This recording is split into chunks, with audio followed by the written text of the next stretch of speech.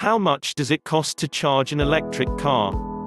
The cost to charge an electric car in the UK varies between home, work and public charging.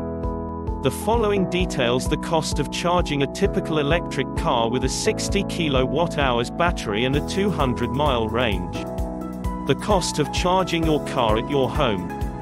Charging a electric car at home will cost you about £8.40 for a full charge.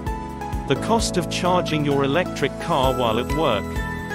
Thankfully many employers have installed workplace charging points and typically offer free access throughout the day. The cost of charging cars at public locations. Public charge points at supermarkets or car parks are often free to use for the duration of your stay. The cost of rapid electric car charging. Rapid car charging points are normally found at motorway service stations and typically cost £6.50 for a 30 minutes, 100 mile charge. Thanks for watching. This video was created in minutes with Content Samurai AI video, video made easy. You can get free access to the Content Samurai app using the link below this video.